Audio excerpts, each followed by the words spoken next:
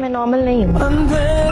नहीं हूँ मैं नॉर्मल बुआ जी। मुझे रातों को अजीब गरीब रौने ख्वाब आते हैं। उन ख्वाबों की वजह से मैं कई कई हफ्तों तक सो नहीं सकती। अपने कमरे की लाइट ऑफ़ नहीं कर सकती। मुझे नींद नहीं आती। अंधेरे से डर लगता है। मैं बंद गलियों से, बंद जगहों से खौफ आता है। मेरा सांस बंद होता है। आगा जान मेरा इलाज एक साइकेट्रिस्ट से करवा रहे हैं। जब तक मैं उसकी दी हुई दवाइयाँ नहीं खा लेती, मुझे सुकून नहीं मिलता। मुझे चैन नहीं आता।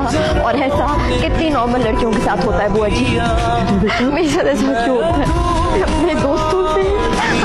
मुमकिन नहीं है तुझको भुलाना।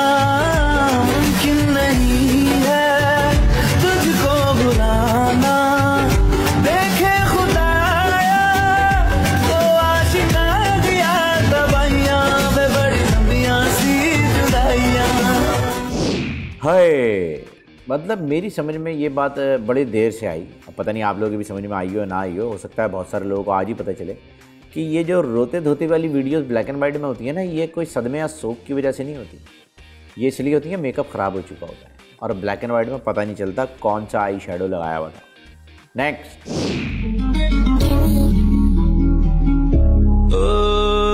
वाह, क्या नजारे वाह, क्या नजारे हैं।